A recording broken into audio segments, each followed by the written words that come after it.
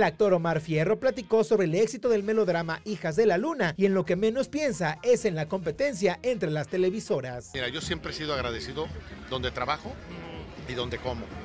¿Por qué? Porque eso le da educación a mis hijos, me da comida a mí y, y yo siempre trato de estar y ser buena persona con quien esté. A mí me contrataron por esta novela y yo hago mi trabajo para esta novela, ¿no? Entonces trato de que mi trabajo en esta novela les guste que funcione que, y que jale gente, que vuelvan a tener rating en unos horarios que de repente se habían bajado. Comentó una experiencia con Danilo Carrera, el protagónico de la novela, pues le hizo un favor. Danilo hoy, por ejemplo, le dije, compa, necesito irme porque si no, no llego. No llego a, a, un evento que tengo hoy en la noche. Tengo que manejar todavía 3, 4 horas.